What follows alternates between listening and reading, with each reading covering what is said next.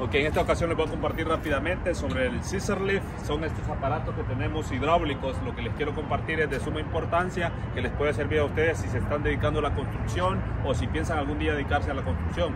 Esto por lo regular son aparatos que se, se van a usar eh, en áreas donde es cemento plano, porque si no está plano y hay cierto declive no les va a funcionar hasta cierta altura. Entonces ahorita les quiero mostrar cómo es que funciona la el aparato para que ustedes tengan este conocimiento que les quiero compartir. Entonces, en este momento, más que todo, les voy a enseñar ese pequeño tip. Como vemos acá estamos ah, listos para levantarlo y lo vamos a levantar.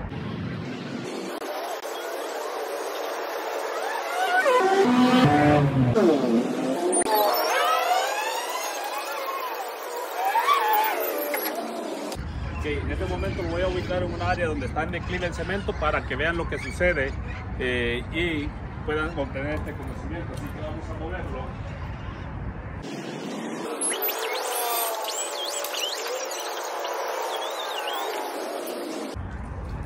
Ok, en este momento vamos a mostrarles acá que el cemento está, no está parejo y vamos a tratar de levantarnos y van a ver que va a comenzar a generar a cierto ruido que no nos va a permitir levantarnos. Entonces, eh, esto entonces está diseñado nomás para cementos donde esté parejo. Si está disparejo, no les va a ser, ah, no les va a funcionar. Vamos ahorita a grabar en este momento que vamos a tratar de levantarnos para ver qué es lo que sucede y vean lo que pasa cuando está disparejo.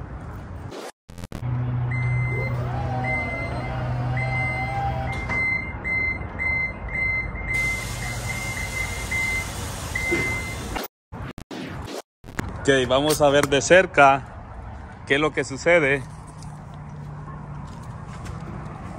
Entonces acá vemos que nos está prendiendo una luz roja y vemos que está en balance el, el aparato. Entonces si yo voy a tratar de levantarlo,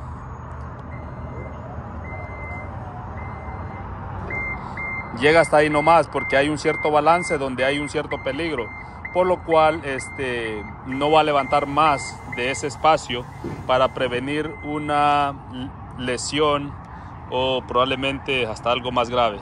So, es lo que les quería compartir, espero que les sirva este video. Recordarles que si aún no se han suscrito al canal, los invito a suscribirse, a seguirme en las demás redes sociales. Bueno, fue un gusto, un placer y nos vemos en el próximo video.